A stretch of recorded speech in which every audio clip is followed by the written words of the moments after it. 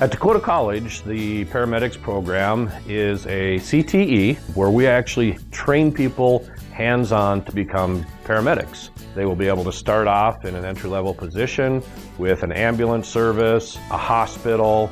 Some of our people even go on to work in oil fields or mines or those types of programs.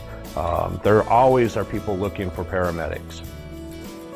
At Dakota College, we offer a certificate of completion program for paramedics. Uh, we start in the summer semester and we finish the following summer semester. So it's a four semester program. At the end of that summer semester, they will be eligible, if they pass all the classes, to sit for the National Registry exam and become a licensed and certified paramedic. Also, we at Dakota College, Bottineau, we offer an associate's degree with that paramedic technology. In that four semester program that we offer is 53 credits.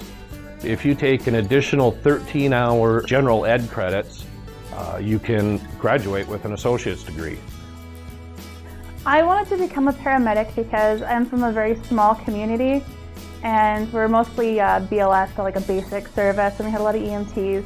So I just kind of wanted to put us in a better position to deliver better care to our community, and then we don't have to wait till we get to Minot to deliver a higher standard of care. You know, at Dakota College paramedic program, I'm always asked, what is the one thing that you can tell me about paramedicine that I don't know? The thing that I want to really, really get through to people is because I hear always, oh, I could never do that. I couldn't do what you guys do. We do a lot more than just run in, scoop somebody up and throw them in the back of an ambulance. We actually we're professionals and we treat people. We're, we're technicians and we do give medicines and we do advanced treatments. And that's what saves people's lives out in the field.